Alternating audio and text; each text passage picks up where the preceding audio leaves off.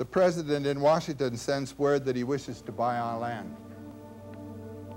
But how can you buy or sell the sky, the land? The idea is strange to us. If we do not own the freshness of the air and the sparkle of the water, how can you buy them? Every part of this earth is sacred to my people. Every shining pine needle, every sandy shore, every mist in the dark woods, every meadow, every humming insect, all are holy in the memory and experience of my people. We know the sap that courses through the trees as we know the blood that courses through our veins. We're part of the earth and it is part of us. The perfumed flowers are our sisters. The bear, the deer, the great eagle, these are our brothers. The rocky crests, the juices in the meadow, the body heat of the pony and man, all belong to the same family. The shining water that moves in the streams and rivers is not just water, but the blood of our ancestors. If we sell you our land, you must remember that it is sacred. Each ghostly reflection in the clear water of the lakes tells of events and memories in the life of my people. The water's murmur is the voice of my father's father.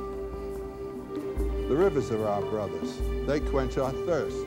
They carry our canoes and feed our children. So you must give to the rivers the kindness you would give any brother. If we sell you our land, remember that the air is precious to us, that the air shares its spirit with all the life that it supports. The wind that gave our grandfather his first breath also receives his last sigh. The wind also gives our children the spirit of life. So if we sell you our land, you must keep it apart and sacred as a place where man can go to taste the wind that is sweetened by the meadow flowers. Will you teach your children what we have taught our children, that the earth is our mother?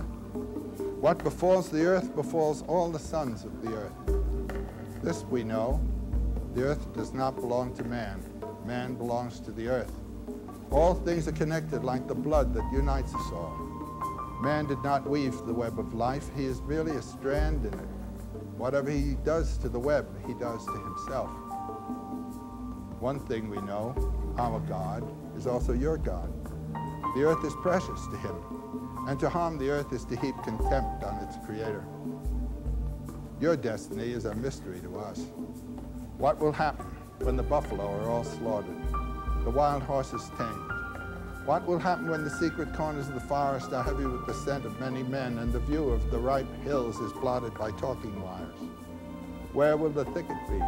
Gone. Where will the eagle be? Gone.